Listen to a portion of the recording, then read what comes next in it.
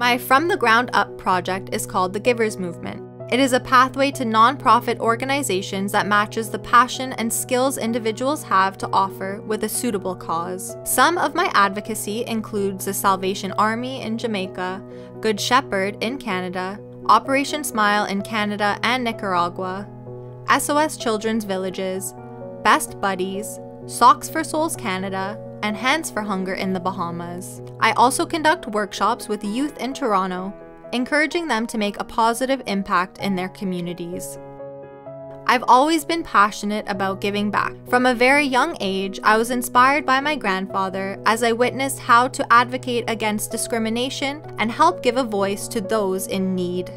I've dedicated myself to partnering with nonprofit organizations. Volunteering at a children's home in Kingston, Jamaica, I realized that there was a disconnect between how people give and what organizations actually need. The Givers Movement helps to solve this problem by connecting passion with purpose. If I had the privilege of being crowned Miss Supranational 2021, I would strive to grow the Givers Movement globally. I believe that every single person in this world is a change maker, and it would be a dream come true to use my voice to make a positive impact on a platform as large as Miss Supranational.